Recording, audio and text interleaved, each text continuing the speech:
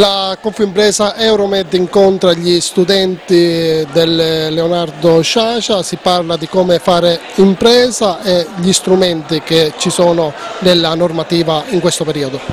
Sì, questo è un ulteriore incontro dopo tanti che ne abbiamo fatto in tutta la Sicilia eh, nei quali stiamo cercando di spiegare ai giovani, ma non solo, a chi fa impresa, a chi vuole fare impresa, eh, sulle opportunità che esistono nel Paese e che spesso non vengono colte questo, in questo luogo geografico, in Sicilia in particolare. È un tema importante perché parte dall'idea della crisi che stiamo vivendo e nell'ambito della crisi stiamo anche spiegando che ci sono delle opportunità rivolte alle imprese per la ristrutturazione dei debiti.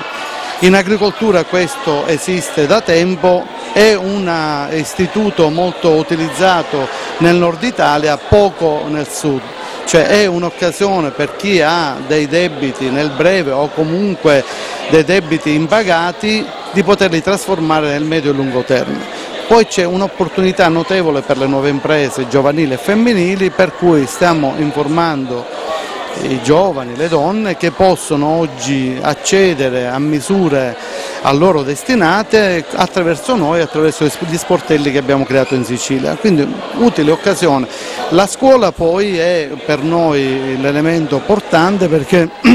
all'interno della scuola stiamo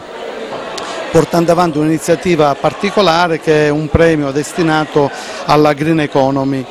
c'è un, un, notevole interesse perché si sono candidate 300 scuole in Italia a partecipare, quindi noi stiamo lavorando anche per informare i giovani, gli studenti sulle opportunità offerte dalla ecosostenibilità, da un ambientalismo dire, maturo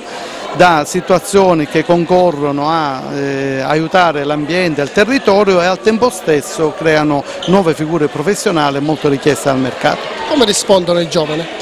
Ma un notevole interesse, proprio in questi giorni dicevo che sia a Catania, a Palermo, a Caltanissetta,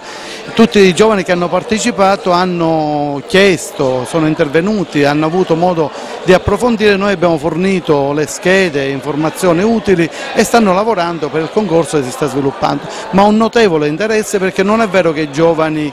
sono così apatici come spesso vengono descritti. Credo che sia opportuno invece che le, le, classi dirigenti se ne occupano adeguatamente.